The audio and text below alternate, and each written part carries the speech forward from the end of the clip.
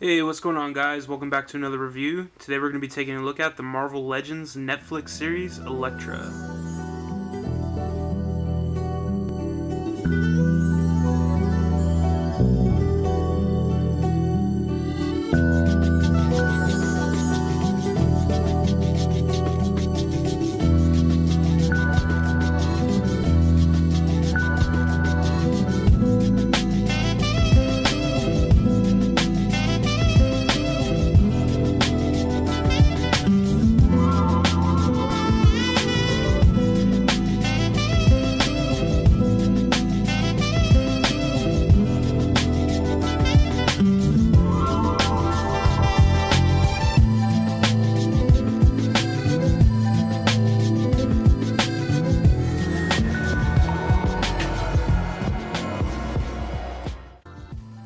Alright, so here's Elektra out of the packaging, and my overall thought of this figure is I'm impressed. Um, I'm more impressed with this figure than I am the Jessica Jones.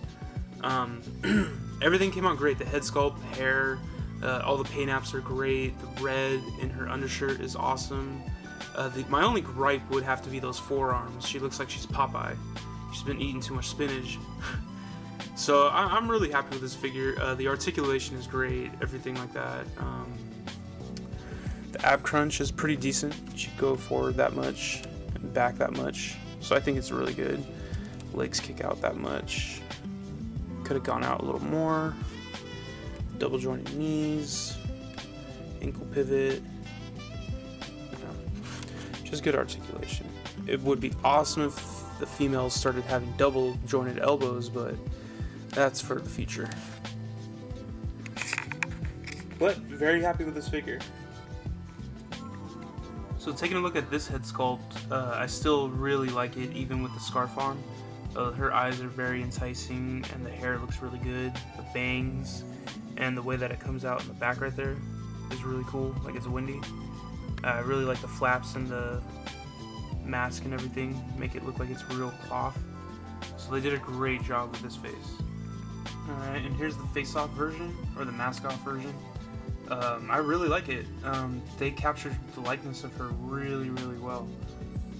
Um, the slender face and everything like that. The eyes came out great. The hair, everything. Really impressed by this figure. She's really easy to pose around, so I've been able to get her in a couple poses I wanted to try out, and they came out great. So I'm very happy with this Elektra figure.